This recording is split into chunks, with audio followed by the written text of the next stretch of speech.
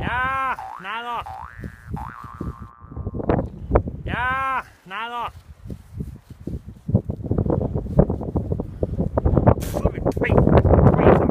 Nei, du vet, det er noen kvelder vi bruker å feire litt mer enn andre. Men eh, vi må nå være på vakt for det, så vi må nå følge med om det er noe som skjer ut på havet her. Ikke noe som vises på AES-en eller på havet. Ikke noe lys å se noen ting, så det er stille og rolig. Men eh, vi kan jo prøve å lage litt lys, og så kan vi egentlig få lov til å ja, jeg er litt usikker, men om vi skal si eh, godt nyttår eksempel, det kan jo være en eh, litt sånn eh, koselig ting eh, på denne tida av døgnet. Juhu!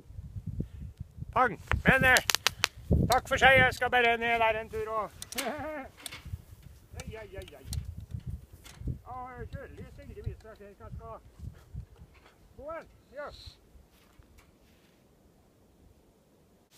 Og så blir det Oi! Hei sann. Hopp sann. Ja, ja. Godt nyttår, folkens.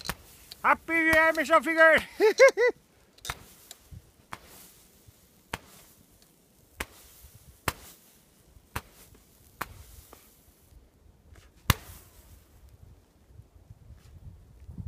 ja. Det var nå kveldens oppdrag eh, unnagjort. Takk for seg og godt nyttår. Ha det på bra.